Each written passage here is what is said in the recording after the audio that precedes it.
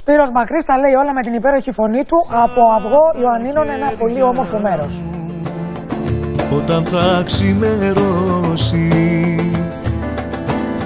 πριν φύγεις από το σπίτι μας όταν θα έχει νυχτώσει Πάρε τα χάδια τα φιλιά Πάρε και την καρδιά μου Άσε μου μόνο το καημό. Κρυφή παρηγοριά μου.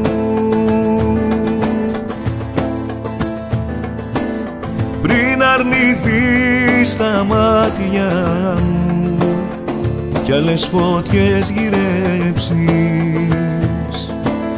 Πριν την αγάπη φοβηθείς και πας αλλού να παίξεις